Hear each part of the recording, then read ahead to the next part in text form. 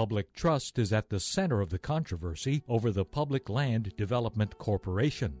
Supporters like Dean Okimoto, president of the Hawaii Farm Bureau Federation, say the PLDC should be given a chance and could be helpful for agriculture, the economy, and other industries. For years, we've been trying to get is a biosecurity facility at the airports where we can monitor invasive species coming into our communities. The state doesn't have the money to do it. By having public-private partnership to build these facilities, I feel that we can mitigate a lot of these problems. But those who oppose the PLDC distrust the law and want to know what the real objectives are for the state. each other all day, but it's not until we get in the communities and start talking to folks and hearing what they have to say. Use your best judgment, be an artist, figure out what you want to videotape, and then make sure you have them sign the, uh, the release form. Got it. It's one group though, right? I think these each have different apps. This is actually this is extra. So if we if we get these figures that we go to here, this is our top priority. Okay.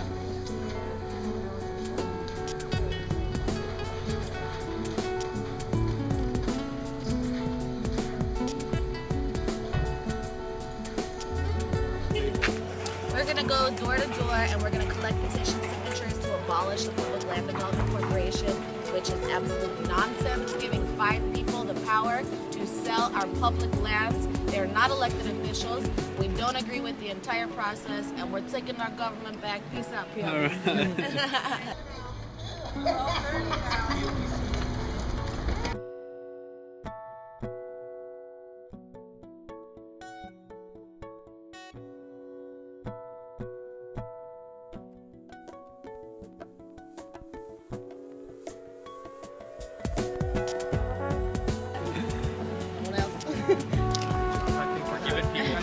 magnets too. It's important. Yes, and we're starting for AiKea to help to help change all of these huge problems that we're dealing with on so many levels in Hawaii, especially. So it's not just abolishing the